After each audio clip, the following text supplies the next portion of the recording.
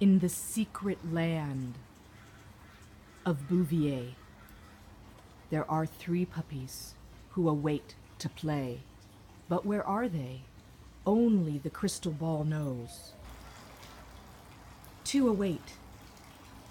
Three with anticipation for the magic ball to come their way. And they're off.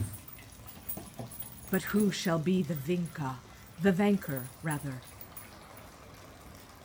Who shall be the winner and get this magic ball? Aha!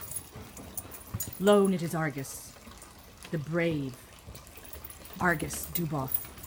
And yet, the girls, they wish to play.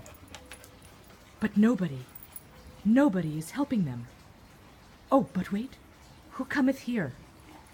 Why, it's Argus, and yet he retreats, leaving Luna to ponder the situation. I ask the crystal ball, why do Bouviers think the way they do? Who are these magical, mystical creatures? Luna, who are you? What are you? I return to try to find the great Argus. But he retreats again, unwilling to share the bounties of his victory. And the poor other Bouviers are left to eat leaves and to wonder and ponder about their existence.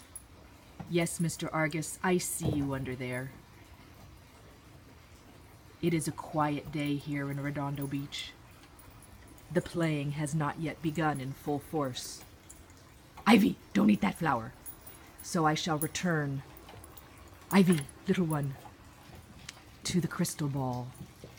When will they play Magic Crystal? When?